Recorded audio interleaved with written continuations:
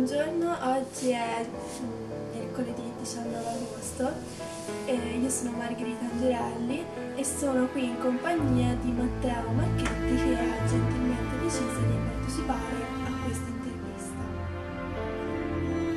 Sono nato a Cecina il 5 maggio del 2014. La mia famiglia è composta da me, mia madre e mio padre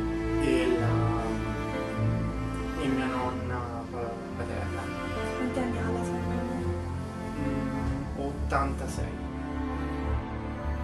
E com'è cambiata la sua attività lavorativa quando c'è il Covid? Da quando c'è il Covid è diventata un pochino più difficile. Mm, Quando si presta più attenzione magari anche solo eh, lavarsi ogni volta che ci si lava avanti per qualche motivo o anche solo andare in bagno è molto più complicato, più, più difficile, più stressante. Eh, ma hai lavorato anche nel periodo di lockdown? In un determinato momento sì, perché facevamo materiale, facevamo cibo da sport che era un pochino più complicato perché comunque dovevamo gestire i tempi, perché avevamo, non avevamo tantissime persone che comunque eh, portavano cioè facevano il, il corriere.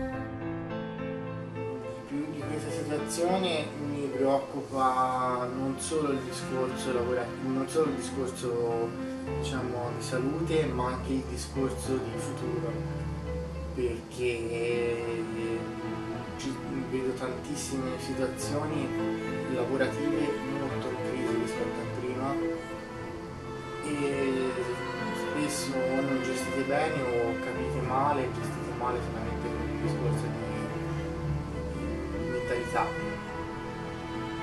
E questo preoccupa perché comunque vedi che non c'è tantissimo futuro al giro.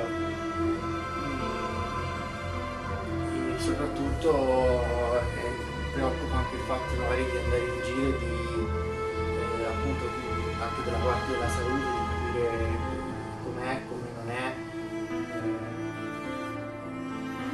Cambiate le relazioni con i tuoi amici e i tuoi parenti? Con amici e parenti sicuramente ci vediamo molto meno, sono cambiate le modalità in cui ci vediamo, prima era un po' più cene, era un po' più era un pochino più gruppo, adesso è leggermente differente, magari ci vediamo con meno amici, però più volte, mm, cercando sempre di mantenere la distanza, cercando sempre di essere con le mascherine. Lo stesso con i parenti, con i parenti c'è mia nonna materna che ho visto dopo due mesi, ehm, cercando, e soprattutto sempre cercando di non tenere determinate distanze, determinate cose, ecco. cercando da- determinate attenzioni. E durante il lockdown come vi contattavate con i Durante, con i parenti? durante il lockdown facevamo molte videochiamate